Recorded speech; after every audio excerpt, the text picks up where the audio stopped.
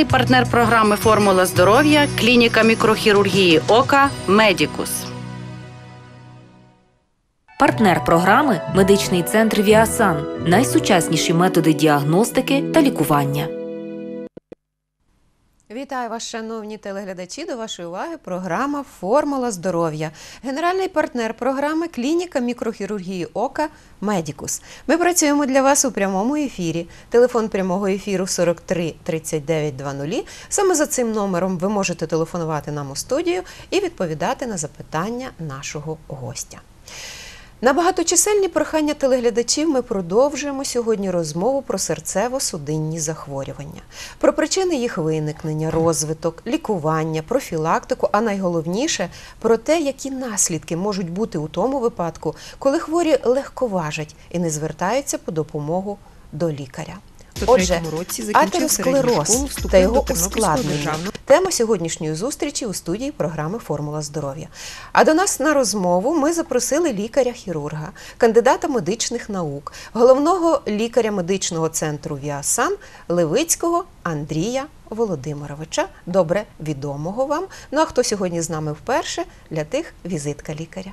Левицький Андрій Володимирович в 1993 році закінчив середню школу, вступив до Тернопільського державного медичного інституту. За період навчання у вузі виконав не одну студентську наукову роботу, що стало початком майбутньої дисертаційної роботи. 99-й рік закінчив Тернопільську державну медичну академію. До 2001 року працював лікарем-інтерном відділення судинної хірургії Тернопільської обласної комунальної клінічної лікарні. 2001 рік старший лаборант кафедри шпитальної хірургії Тернопільської державної медичної академії. За цей період запатентував два наукових винаходи. 2001 рік вступ до клінічної ординатури, написання кандидатської дисертації, три наукові винаходи. 2003 рік закінчив клінічну ординатуру, захистив кандидатську дисертацію. Дисертація присвячена ультразвуковій діагностиці та методам хірургічного лікування порушень артеріального кровопостачання нижніх кінцівок на ґрунті атеросклеротичного ураження магістральних артерій. 2006 рік курси спеціалізації за фахом ультразвукова діагностика на базі Рівненського обласного діагностичного центру. З 2006 до 2009 року працював в центрі експертних ультразвукових досліджень біомедика на базі міської лікарні номер 3 де започаткував і розвинув високий рівень ультразвукової діагностики судин і суглобів. З 2010 до 2012 року працював в медичному центрі Медівіт, лікарем ультразвукової діагностики та хірургом-флебологом, спеціаліст із захворювання вен. За цей період, окрім ультразвукової діагностики та консервативного лікування пацієнтів із патологією судин, займався косметичними операціями та склеротерапією при різних формах варикозної хвороби. З 1 серпня 2012 року обіймає посаду головного лікаря та лікаря ультразвукової діагностики новоствореного медичного центру Віасан. Загальний стаж роботи 10 років. Доброго вечора, Андрій Володимирович. Добрий вечір. Ми раді вітати вас у нашій студії. Отже, ми продовжимо сьогодні розмову про судинні захворювання. Зокрема, поговоримо про атеросклероз. Що це таке? Взагалі, атеросклероз е, тема е, доволі серйозна. Я навіть не дивлячись на е, таку немаленьку кількість ефірів попередніх, дещо сьогодні і хвилювався перед ефіром. Е, Серйозно, тому що величезний об'єм уражень, величезний об'єм патології, який виникає як наслідок атеросклеротичного ураження судин. Е, Конкретно це є е, ураження стінки крупних і середніх судин, в основному внутрішньої стінки, за рахунок того, що у ній відкладаються холестеринові бляшки. Тобто це відбувається поетапне накопичення холестерину, який росте, на жаль, в просвіт стінки судини, планомірно поступово звужує цей просвіт і таким чином обмежує е, проходження крові через конкретну ділянку судини. Ну і зразу, якщо є така можливість, ми покажемо е, Відео, будь ласка. фрагмент. Як виглядає атеросклеротична бляшка? Е, Сама крайня зліва то є здорова судина, е, сама крайня справа це вже судина, яка пройшла всі етапи розвитку атеросклеротичної бляшки, і бачите, приблизно десь на е, прохідного просвіту залишається біля 30-25%. Е, Ну, практично то є і критичний стеноз, саме грізний, який приводить до масивних колосальних ускладнень, що відображає практично соціальну значущість даної патології. До чого призводить атеросклероз і е, які його ускладнення? Е, Взагалі, е, проблема атеросклерозу е, є доволі комплексна, розвиваючися в судинах чи басейна серцевого, чи в басейна головного мозку, чи нижніх кінцівок, він рано чи пізно приводить до критичних розладів кровопостачання і виникнення таких різних патологій, як у серці це ішемічна хвороба серця, ще й вона відома під назвою стенокардія, в народі називають грудною жабою. Закінчується інфарктом міокарда. Е, Головний мозок то є е, порушення чи в діагнозі це дисциркуляторна енцефалопатія в народі, це просто називається склерозом голови, закінчується ішемічними інсультами. І в нижніх кінцівках це планомірне е, порушення кровопостачання нижніх кінцівок е, з розвитком потихеньку критичної ішемії, яка е, проявляється скороченням ходи, потім болями у спокої. І рано чи пізно, це, якщо пацієнт не лікується, завершується гангренозним ураженням кінцівки і відповідно її втратою. Так само уражаються в меншій мірі судини внутрішніх органів, що може привести до різних розладів, особливо роботи і функцій нирок. Е, Тоді, е, як ускладнення атеросклерозу, виникає некерована, дуже важка гіпертонічна хвороба. Е, Ну і в меншій мірі інші органи, скажімо, печінка, підшлункова залоза, кишківник, органи малого тазу. По соціальній значимості е, катастрофа, е, ну, шокуючі дані. Якщо, до прикладу, 1900 рік наводилася 10% е, смертність населення, то в 2000 році це вже приблизно біля 50%, 2005 рік це 56% смертності від атеросклерозу. Тобто це сукупність уражень і серця, і уражень нирок, і уражень головного, судин головного мозку. Е, На сьогодні 2007 рік остання цифра це 56,6% смертності від кількості пацієнтів хворих на атеросклероз. Тобто зі 100 пацієнтів причина смертності в працездатному, е, точніше, в працездатному віці помирає 56 чоловік. Тобто цифра доволі грізна. Е, Якщо брати подальші е, статистичні дані, то рівень, якщо у пацієнта виникає гостре порушення мозкового кровообігу, то в перший рік після е, гострого порушення мозкового кровообігу рівень інвалідизації досягає до 68-82%. В п'ятирічний термін інсульт виникає повторний інсульт 42% пацієнтів. Тобто цифри не маленькі, не один, не два, не 10, навіть не 20%. Я б сказала, навіть дуже страшні. Е, е, Ну, взагалі, в Росії, Російська Федерація, можна сказати, ще навіть Радянський Союз, ми в всьому світі були попереду всієї планети. По смертності взагалі від серцево-судинних захворювань, основна частка яких належить, власне кажучи, атеросклеротичному ураженню магістральних судин. Добре, в такому випадку внаслідок чого розвивається атеросклеротичне ураження судин? Чому така страшна статистика? Ми стали гірше харчуватися, гірше жити. В чому справа? Ну, Ну, наче ж медицина розвивається. Власне кажучи, медицина то розвивається, але тут, е, скорше всього, ситуація полягає в відношенню пацієнтів до самих себе. Е, Атеросклероз хвороба дуже-дуже вкрай підступна. Вона не біжить, не маніфестує себе як е, ряд хірургічних патологій, як апендицит, скажімо, як травми. Вона тихенько робить свою справу. Е, в певний період часу відбувається ряд змін незворотніх і в судинах, і в органах, які вже вирішити, в принципі, банальним лікуванням початковим неможливо. Це формує стійкі хронічні розлади патологій, і тут е, спрацьовує от така десь, можливо, наша е, ментальність. А для чого займатися цією хворобою, якщо вона не лікується і рано чи пізно наступить летальний наслідок? От я би е, тут е, можна показати відеосюжет, Давайте як нам, формується атеросклероз, внаслідок чого розвиваються всі ці ускладнення і як відбувається е, патологія е, взагалі. От, будь ласка, це є кровоносна судина, показаний ток крові. Дуже типове місце для ураження.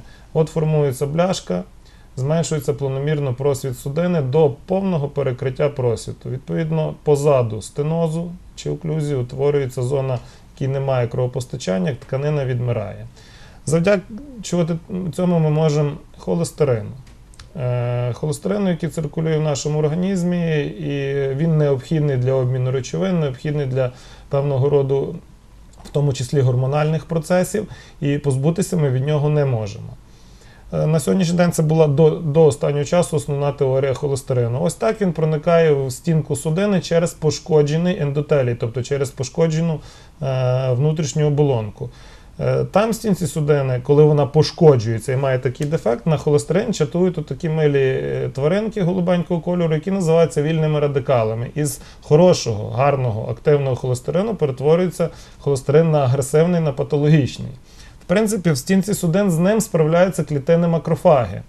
Вони його прибирають, нейтралізують і синтезують відповідні е, речовини, які йому протидіють. Ну рано чи пізно цих макрофагів стає багато, і за рахунок них от утворюється, грубо кажучи, отакий от, е, ефект.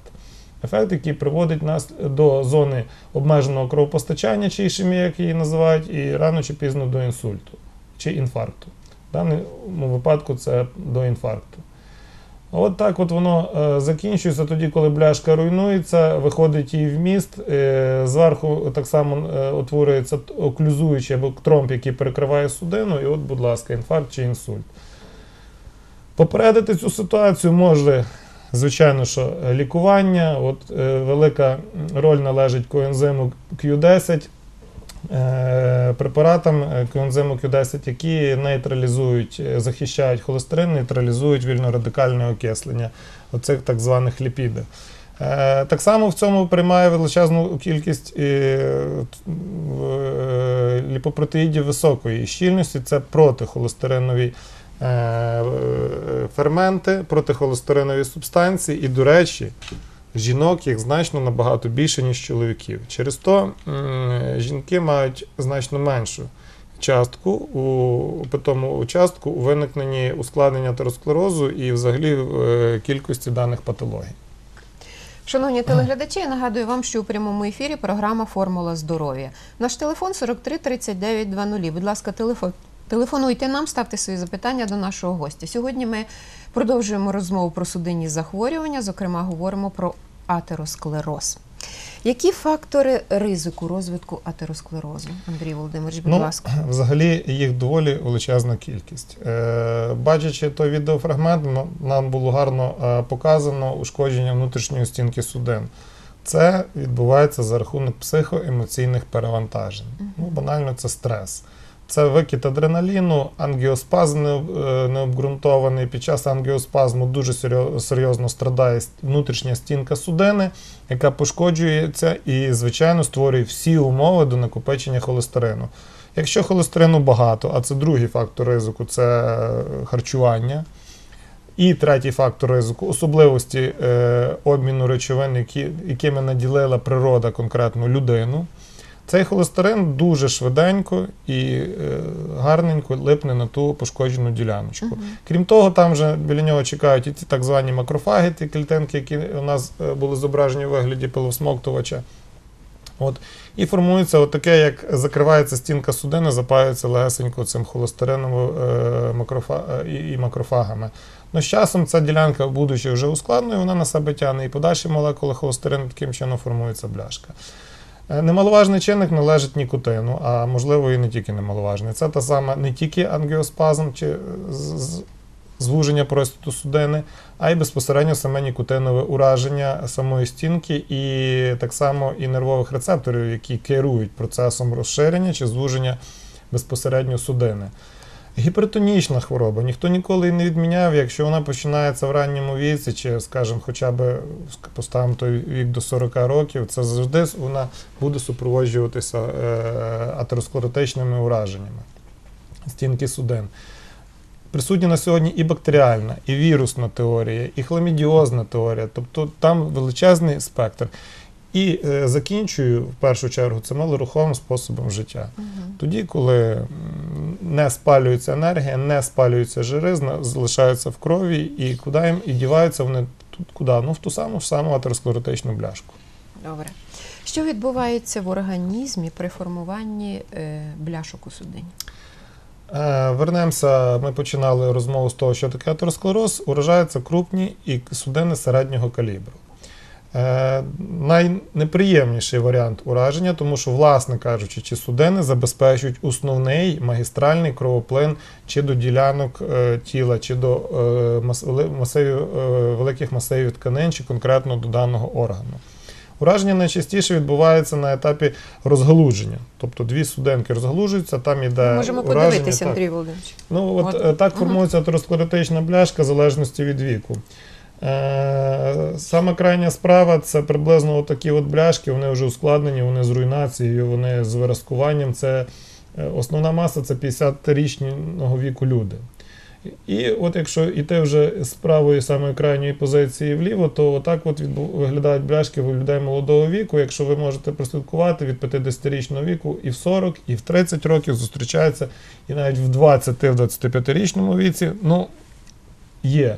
Е, Такі дані, є результати дослідження і, і патологоанатомічних досліджень, що появляються перші ліпідні стрічки е, в 20-25 років.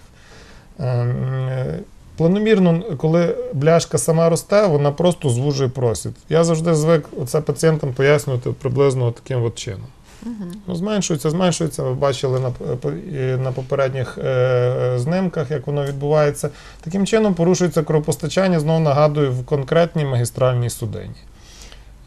І орган, маючи обмежене кровопостачання, починає функціонувати неправильно. Крім того, там уражуються клітини, порушується регенерація, порушується відновлення самого органу, відбувається його передчасне старіння, і таким чином формується різний ряд захворювань. Нам телефонують, Андрій Володимирович. Доброго вечора. Будь ласка, ваше запитання. Добрий вечір. Добрий вечір. Чуєте? Будь ласка. Так, скажіть, будь ласка, чи можна вживати протихолестеринові препарати, які з цього наслідки, і чи має відношення холестерин до тахікардії, до підвищення пульсу? Ну, е, холестеринова теорія взагалі колись була провідною.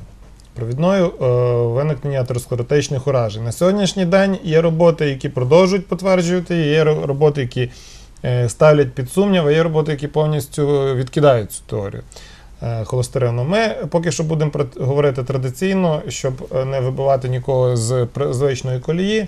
Так, Холестерин має відношення, і ми це демонстрували на попередніх і фотографіях, і на попередньому відеофрагменті.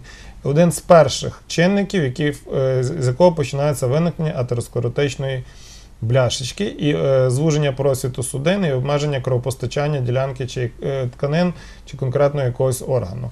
Щодо протихолестеринних препаратів, знову ж таки величезна кількість дискусій. В кардіологічних програмах, е, зокрема лікування е, хворих на ішемічну хворобу серця, препарати протихолестеринові показані однозначно. Є роботи, які говорять про те, що є обов'язковим визначення рівня холестерину, тобто це холестерин, тригліцериди, тобто ті самі ліпіди високої, низької, дуже низької густини, визначення коефіцієнту атерогенності, і тільки тоді приймається рішення про призначення холестерину. Чи воно пот- потрібно, чи можлива корекція дієтою, чи і визначаються дози. Ну, над цим питанням дуже треба серйозно думати і обмірковувати в першу чергу лікарю, який назначає протихолестеринові препарати, тому що препарати є, ну, не є м'якої дії, і рано чи пізно пацієнти починають розуміти і знати, де в них печінка з нирками. Колись е, навіть було знайомство з такими роботами, які доводили, що неадекватне призначення холестерину, тобто там, де його не, не потрібно було, приводить до чого? До того, що після відміни холестери... протихолестеринового препарату, призначення протихолестеринових препаратів, ми ведемо мову, коли відміняється протихолестериновий препарат е, на неадекватному курсі, то виникає оцей так званий синдром відміни, тоді холестерин піднімається різко вверх. Тобто там, де його було менше, зразу стає е, значно більше, як реакція на відміну препарату, тобто на стримуючий фактор. Тому знову ж таки до цього треба підходити зважено і ретельно проводити дослідження як крові, так і взагалі суден, щоб прийняти рішення про необхідність е, даних препаратів в лікуванні конкретного пацієнта. По відношенню до тахікардії, ну я не знаю безпосередньо пломового впливу е, гіперхолестеринемії, тобто підвищеного рівня холестерину в крові на тахікардію. Але з іншої сторони скажу так, що це ознака або захворювання серця, або порушення обмінних процесів. В першу чергу натяк на щитовидну залозу відбувається. Так само може бути часто густо проявом е, грудного остеохондрозу. Треба розбиратися в сситуаціях. Дякуємо за дзвінок. Нашим телеглядачам нагадую, що у прямому ефірі програма Формула здоров'я. Телефон прямого ефіру 43 39 00. Будь ласка, телефонуйте нам. Сьогодні ми ведемо мову про атеросклероз. Де е, найбільше розвивається атеросклеротичне ураження? Я вже десь сказав, десь чуть-чуть зачепив. Це основні ділянки, це розгалуження судин. Ми маємо основну судину, яка йде від серця аорту. Від неї розходяться е, судини е, середнього калібру до органів систем. Зокрема, перші судинки це коронарні або серцеві судини, які кров постачають серце. Далі вже йдемо так по ходу е, аорти грудної. Це судини, які кров постачають верхні кінцівки і головний мозок. Далі судинки нирок, і в самому низу це судини артерії нижніх кінцівок. Можемо подивитися?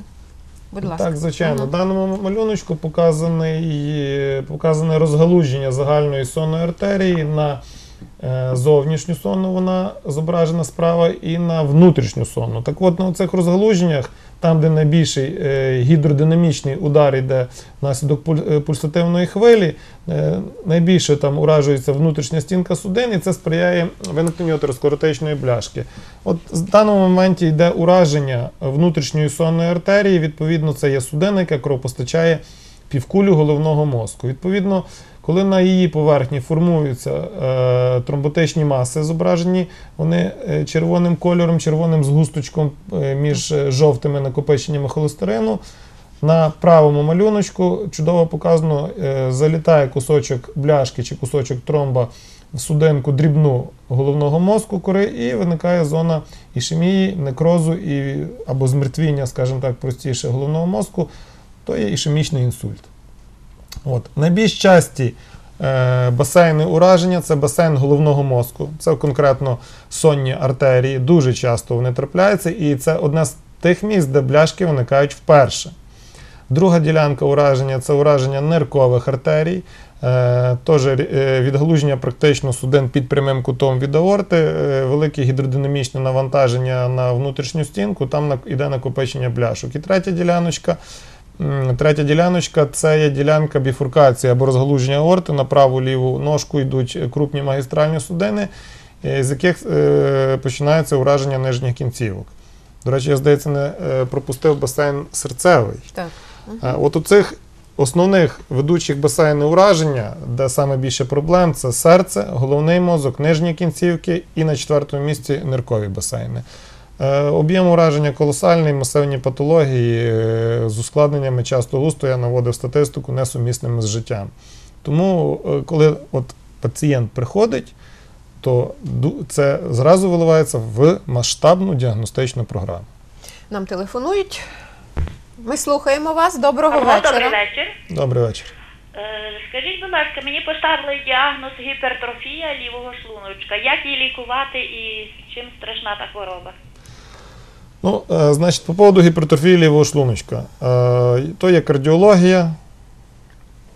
Для того, щоб е, ну, це є, не є самостійний діагноз. Тобто не часто гіпертрофія лівого шлуночка трапляється як самостійний діагноз. Зазвичай це йде перевантаження роботи серцевого м'яза внаслідок підвищеної опірності судинного периферійного судинного русла. Є наслідком атеросклерозу серйозного або е, е, підвищеного артеріального тиску. Тому тут треба розбиратися, звідки взялася ця гіпертрофія, що привело до перевантаження роботи серця, і таким чином вибудовувати лікування е, пацієнта. Дякуємо за дзвінок. Що є важливим у виявленні атеросклерозу? Ну, по-перше, це звернення пацієнта безпосередньо без цього нікуди Ну, не да, дітися. Е, якщо є якісь любі прояви порушення кровопостачання, це обмеження ходи, це якщо кінцівки, це поява е, різких болей серця при навантаженні. Е, може більшому, меншому, це вже пацієнт сам відзначає. Е, Поява різких головних болей, які супроводжуються скачком артеріального тиску, ну треба йти до лікаря і не тягнути. Тому що е, атеросклероз приємно лікувати на початкових е, фазах захворювання, тоді, коли ми можемо обмежуватися двома-трьома препаратами, коли ми можемо приємно поговорити про що їсти, про що не їсти, про об'єм фізичних додаткових навантажень, а не виписувати приблизно от цілий листок. І тут від 1 по 12 пункт у нас іде спочатку призначення кардіолога, потім невропатолога, потім суденного лікаря. І така от петиція виходить, пацієнт сидить перед тою жменю таблеток і не знає, чи, чи, чи буде від них йому добре на голову, чи буде йому зле на шлунок потім. Е, тому основним це є діагностична програма. Звернення до спеціаліста і діагностична програма. На, на сьогоднішній день ну, я аналізую е, то, то, як відбувається звернення в наших пацієнтів. Е, передовим чомусь е, ланкою, передовою ланкою виявлені е, атеросклеротичних уражень стало не візит до лікаря, там, чи терапевта, чи кардіолога, а візит на ультразвукову діагностику судин. Тобто на сьогоднішній день це є таким домінуючим чинником. Болить нога, то на ногу, болить голова, то на голову. Гіпертонія, артеріальний тиск, так само, або ну це вже так трошки або кардіолог, або дивимося судини шиї головного мозку. Ну це в принципі дуже непоганий такий підсвідоме інстинктивне звернення, тому що дозволяє е, часто виявити на ультразвуковій діагностиці ті чи інші проблеми. Тим паче не треба ніколи розцінювати розлади, е, незрозумілі розлади шлунково-кишкового тракту. Тобто сам метод, е, припустимо, ультразвукової діагностики, вже коли е, спеціаліст дивиться внутрішні органи, тобто органи черевної порожнини, він, якщо він акцентовано працює і акцентовано знає, що треба робити, він може подивитися бодай би черевну аорту. Подивитися на внутрішню стінку, подивитися, чи немає її потовщення, ущільнення, е, особливо неоднорідно якихось ділянок локальних ущільнень. От. Це приводить на думку, що напевно, що формується атеросклероз, далі йдуть е, стандартні, е, якщо він виявляється, ми знаходимо бляшку чи в аорті, чи в сонних артеріях під час обстежень чи органів черевної порожнини, чи судин шиї головного мозку. Далі йде, має бути виконана нормальна діагностична програма. Тому що, ну, скажімо так, словами героя Ільфа і Петрова, коли пояснюєш пацієнту, коли це треба здати, він просить порахувати, то я вам скажу, що напевно, що в цих ситуаціях, враховуючи всі ці ускладнення, що ми навели, що е, торг здесь неуместен. Е, має бути від банального загального аналізу крові до оцінки е, рівня ліпідограми, тобто як себе веде е, холестериново-жировий обмін в крові. Має бути обов'язковий візит до кардіолога з виконанням електрокардіографії, з виконанням ехокардіоскопії. Е, Має бути візит до суденного хірурга, і не виключено, що обстежити повин, е, обстежити слід на ультразвуковому діагностичному апараті не тільки судини шиї головного мозку, а й черевну аорту, ниркові артерії і артерії нижніх кінцівок. Величезний, колосальний об'єм. Але повірте, що він врятує пацієнта, якщо він перед е, достроково звернеться. Власне, на цьому всьому побудована робота нашого закладу. Всі ці обстеження, спеціалісти, кардіологи, невропатологи, суденні лікарі, е, лікарі ультразвукової діагностики на це орієнтовані. Андрій Володимирович нам телефонують. Доброго вечора. Ваше запитання, будь ласка. Добрий вечір. Я до, я до лікаря. Ну, безперечно. Я до лікаря. У мене бляшки, у мене бляшки поза вуха. От, і теж голові, голові шумить, в ухах шумить. От, і я ставила п'явки поза вуха, але нічого мені немає легше. І далі шумить і, і в голові, голові крутиться. І тиск 100 на 120.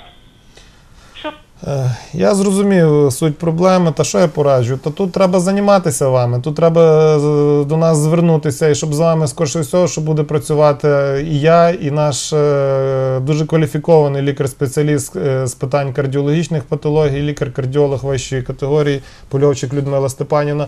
Ми можемо вам дати раду, але для цього треба до нас приїхати, записатися, приїхати на обстеження хоча б судин шиї головного мозку, яке стане для вас базовим, і від нього ми будемо відштовхуватися в подальшому і діагностичному, і лікувальному процесі. П'явки позавуха це, звичайно, дуже непоганий метод лікування, але якщо він вам не поміг, значить е, десь є ще якісь додаткові моменти, які, звичайно, ви не врахували, і ваші п'явки не врахували.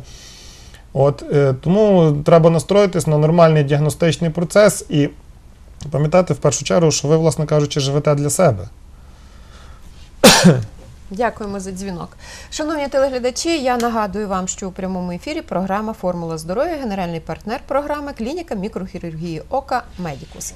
На каналі час реклами, яку ми розпочнемо з інформації від лікувально-діагностичного центру РУМЕД. Потім повернемось у студію і продовжимо нашу розмову. Рубрику Сучасна діагностика представляє лікувально-діагностичний центр Румет Т. Здоров'я починається з діагностики. Щитовидна залоза одна із основних органів е, ендокринної системи організму людини. Знаходиться в на ділянці шиї між гортанними хрящами.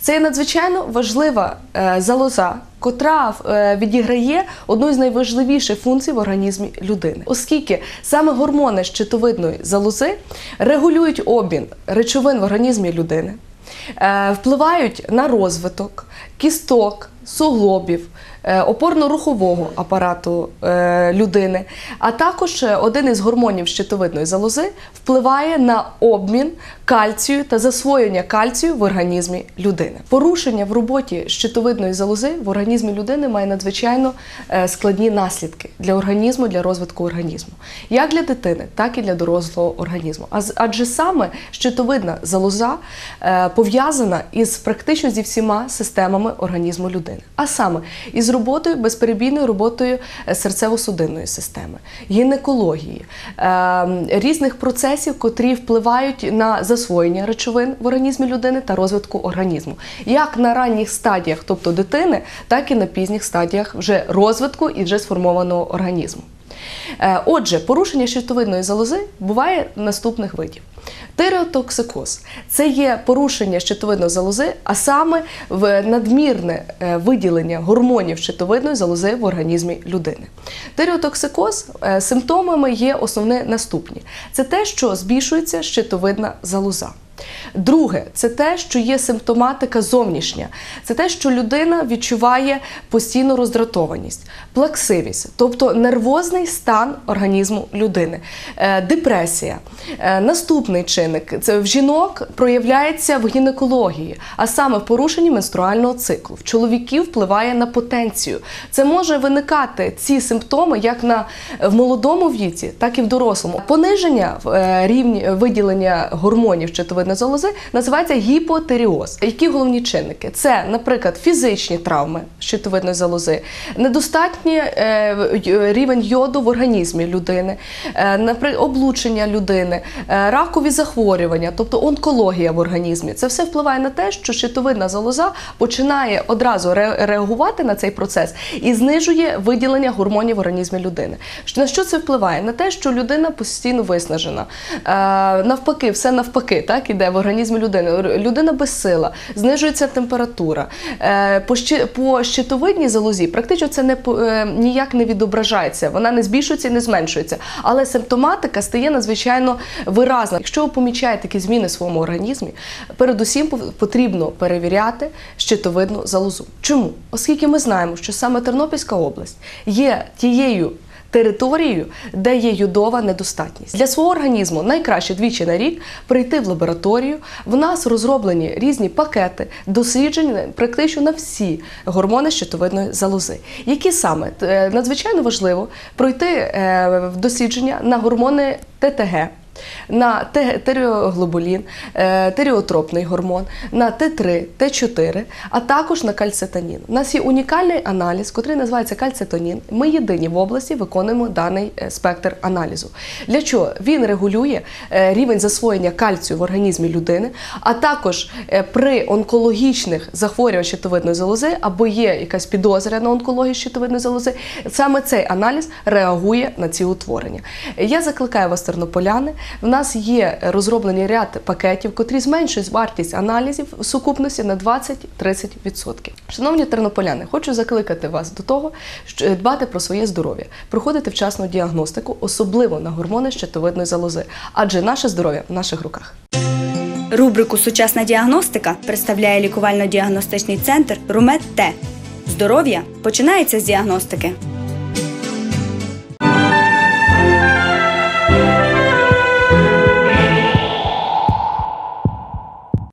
Прямому ефірі програма Формула здоров'я.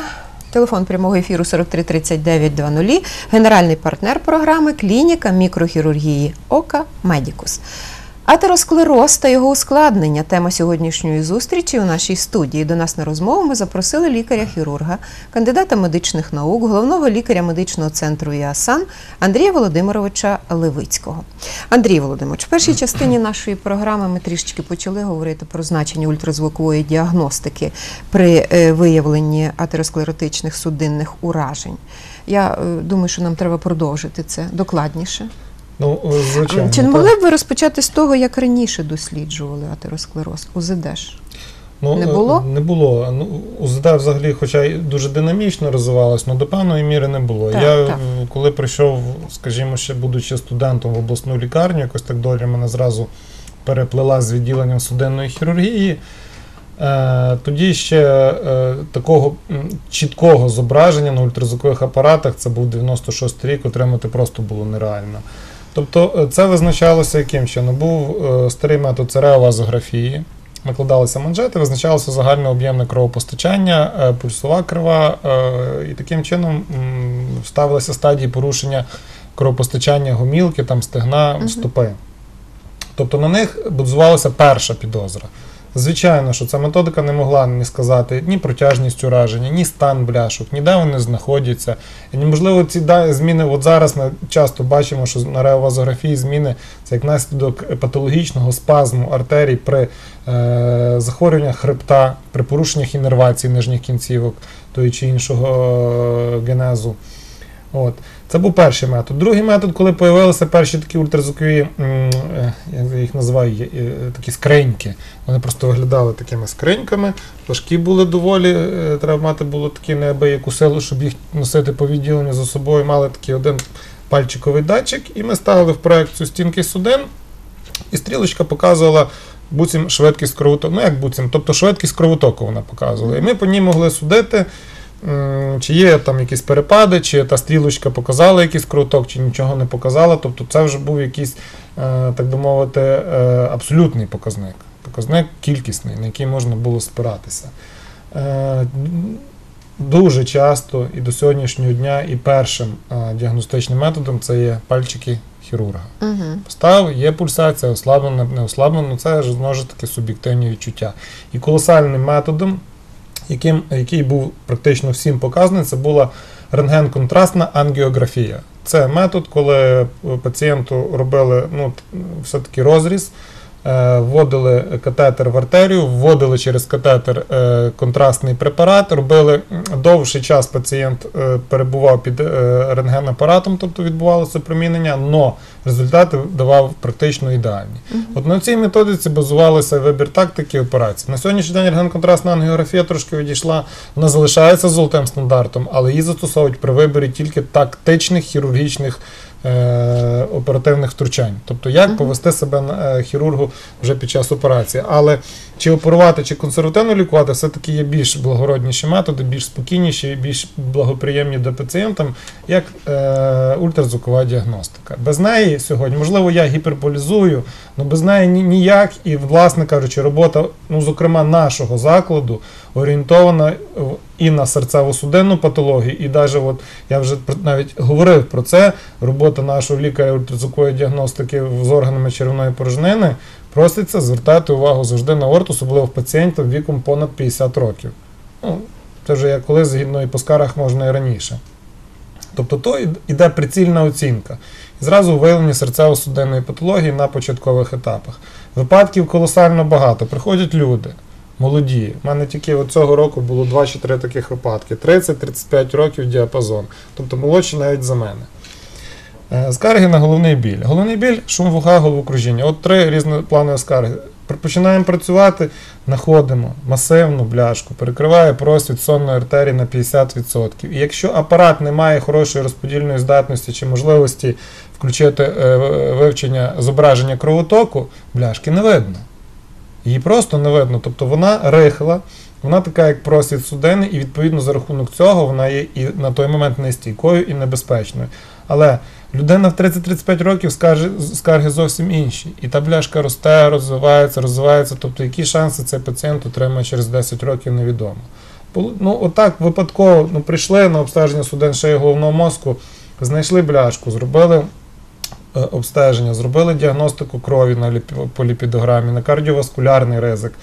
Був пацієнт відправили пацієнти на ЕКГ, до лікаря-кардіолога на консультацію. Тобто йде об'ємний процес виявлення патології з е, намаганням встановити переважаючу ураження того чи іншого суденного басейна, і відповідно назначити і лікування, і профілактику, так само з е, врахуванням всіх діагностичних даних.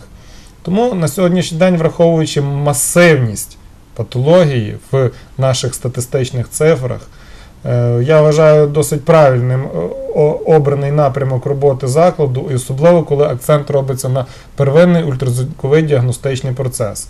Знову ж ми вже говорили, пацієнти чомусь приходять. Можливо, це за рахунок того, що я вже давно працюю і якось так вже давно вибудував цю роботу, е, і пацієнти знають, що звертаючись конкретно за допомогою в ультразвуковій діагностиці, вони від, отримують відповідь на більшість запитань. Ось.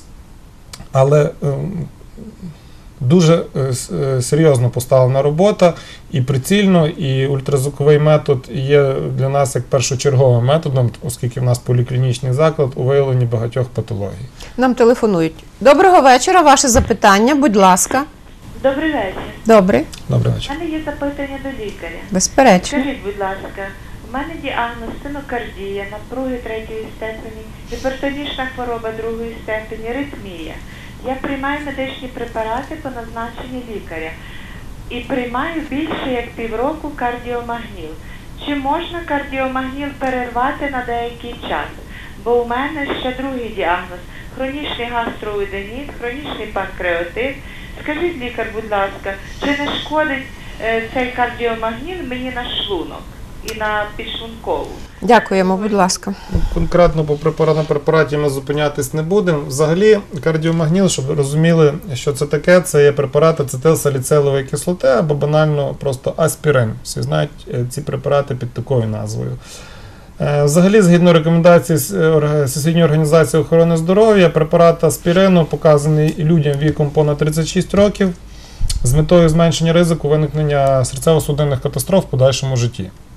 Тобто, що робить ацетилсаліцилова кислота? Вона просто зменшує налипання тромбоцитів, тобто е, клітин, з яких формуються тромбики, на ділянки е, ураження судин, зокрема на атеросклеротичні бляшки. Таким чином бляшка не росте. Нема тромбоцитів, він не накопичується на її просвіті, на її поверхні і зберігається таким чином просвіт.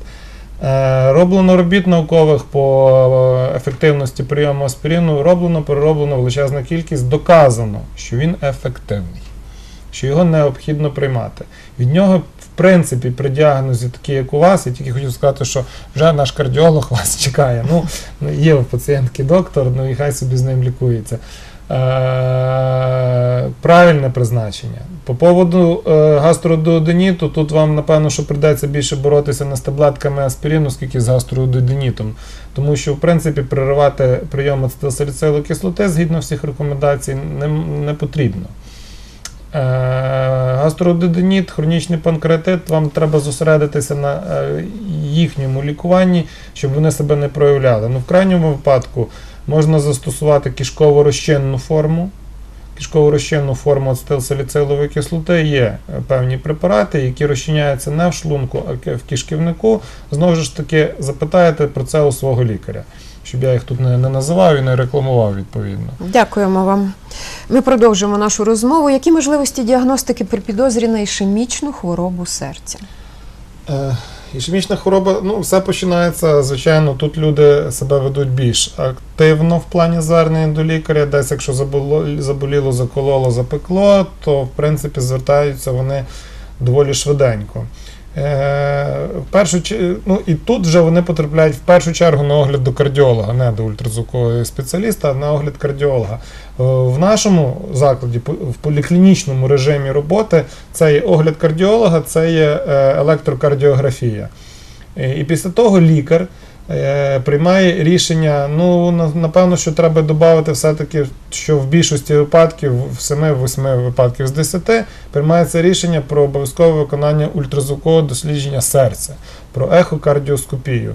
Тут, е, в принципі, е, як е, рекомендація, не треба зразу бігти на ехокардіоскопію, хоча все рівно, якщо вже пацієнт прийшов на ехо з подібними скаргами, нас, до речі, виконують ехокардіоскопію всі лікарі-спеціалісти, які знають кардіологію, тобто які можуть і проконсультувати, і послухати, і дати лікування, і оцінити електрокардіографію, тобто саму плівочку з електрокардіографа.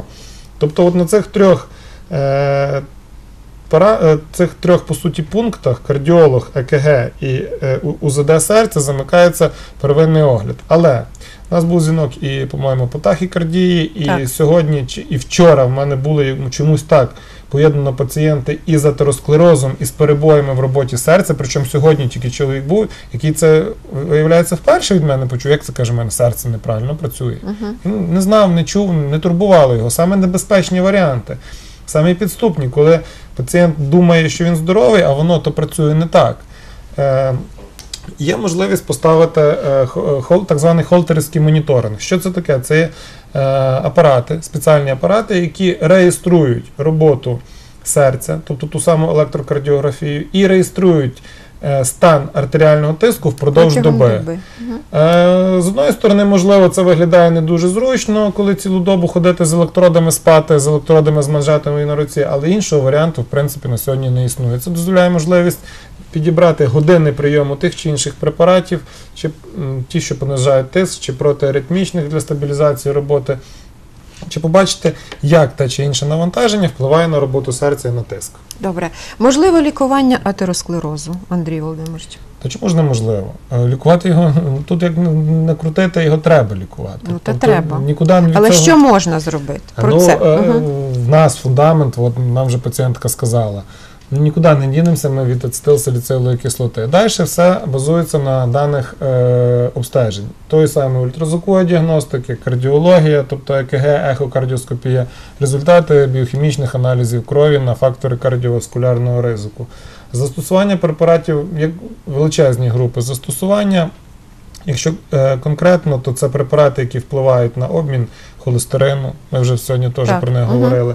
Препарати, які е, підживлюють саму судинну стінку, сприяють покращеному е, відновленню стінки е, ендотелію, тобто внутрішньої оболонки судин.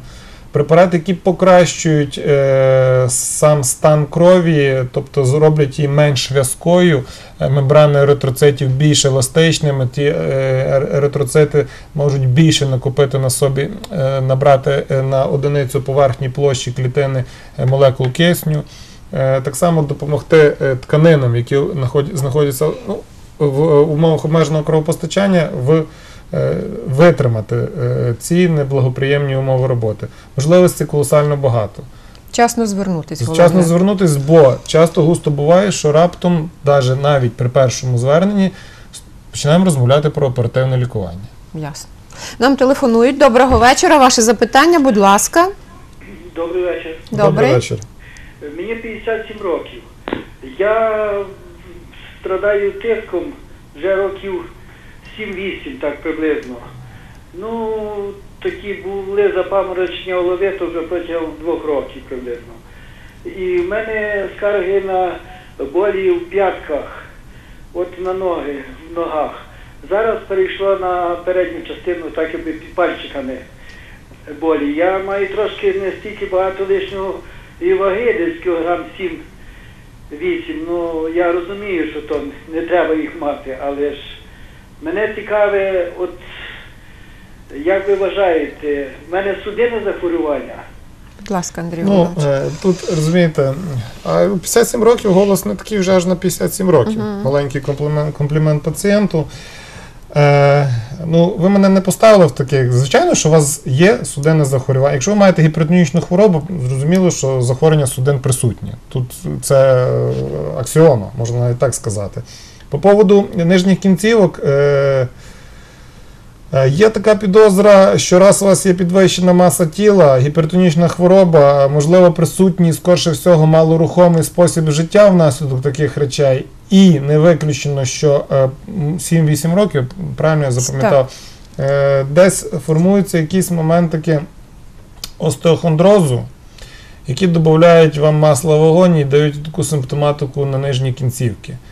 Е, Не дуже типові скарги для порушення кровопостачання нижніх кінцівок, але при наявності гіпертонії не можна виключити атеросклеротичних стенозів е, стегнових чи підколінних артерій. Скарги більше зустрічаються, от такі характерні для неврологічних пацієнтів. Ну, але я вам знову ж скажу, що навмання можна розмовляти дуже багато і будувати повітряні замки, але поки не буде діагностично виконаного нормального діагностичного процесу, це все буде е, виглядати отак, як я вам зараз відповів. Або, а може, а може, а може. Приходьте і споглядати вас будуть, так. розставить ці крапки над і. Добре, профілактика атеросклерозу. Е, будемо казати так, гіпердинамія. Рухатися треба, рухатися треба для того, для чого треба рухатися? Щоб серце працювало активно, швидкостя кровотоку були доволі високі і не створювалася в пристінкових ділянках оця так звана турбулентність крові. Тобто, щоб вона текла прямо ламінарно і не створювала умови, власне кажучи, турбулентність створює умови для ушкодження судинної стінки і для осідання в ній е, елементів е, холестерину. Друге, е, внаслідок е, харчування чи має роль е, підвищений вміст жирів в їжі тої чи іншої людини. Ну, можливо, я, я належу до людей, які на це не, не дуже акцентують увагу. Можливо, десь хтось за це буде мене критикувати, але знову ж таки я слідкую за е, дослідженнями, які, і я вже говорив про це, що є ряд досліджень, які не знайшли прямої залежності. До речі, я дуже ці- е, звідки виникла холестеринова теорія, але напевно, що ми опустимо, бо тут дуже забагато буде е, Да, розповіді. часу мало. Я більше акцентую в профілактиці додати рослинної їжі, морепродуктів, якби це цікаво не звучало, тому що у нас морепродукти так в- в основному в супермаркеті, і рослинних жирів. Рослинних, рослинних жирів. жирів. Рослинних жирів.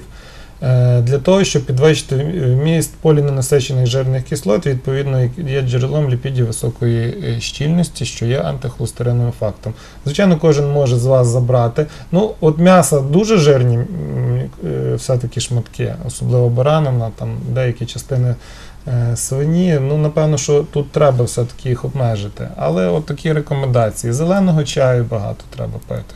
Величезний міст біофлавоноїдів і в зеленому чаї, і в чорних ягодах.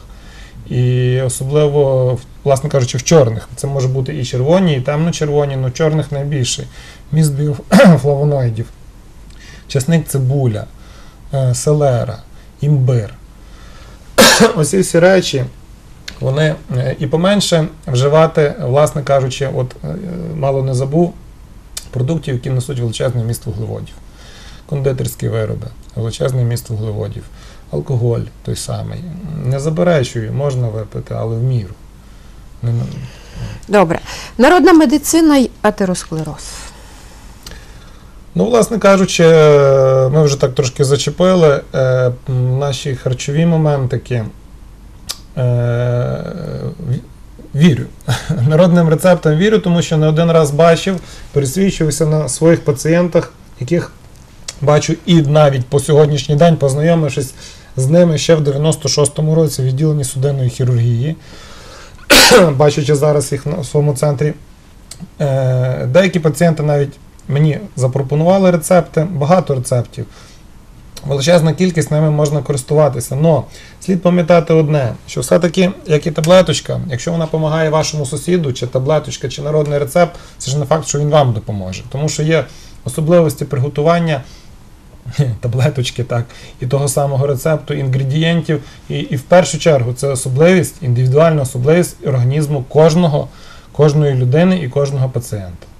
Тому до цього е, можна ставитися позитивно. Основне, на що, з чим я знайомий, це суміші в будь-яких варіантах мед, грецький горіх, часник і лимон. В будь-яких варіантах, як завгодно, зі спиртами, без спиртів. Е, Суміші меду, лимону з чорними ягодами, зокрема смородина і ожина, шовковиця. І тут вже фантазія, кому яка дозволяє, чи хто який рецепт знайшов. І багато тут за пару хвилин цього розказати нереально. Але ми почали цю розмову. Я думаю, що ми її від- продовжимо. Я не відкидаю таких варіантів, можливості. Дуже добре, було б народні рецепти. Андрій Володимирович, я вам щиро вдячна за сьогоднішню зустріч. Сподіваюся, що ви прийдете Дякую до нас знову з новими розповідями. Так? Я дякую телеглядачам. Нагадую, що генеральний партнер програми Формула е, здоров'я клініка мікрохірургії Ока Медікус. І бажаю вам здоров'я фізичного і духовного. Генеральний партнер програми Формула здоров'я клініка мікрохірургії ока Медікус. Партнер програми медичний центр Віасан. Найсучасніші методи діагностики та лікування. Thank you.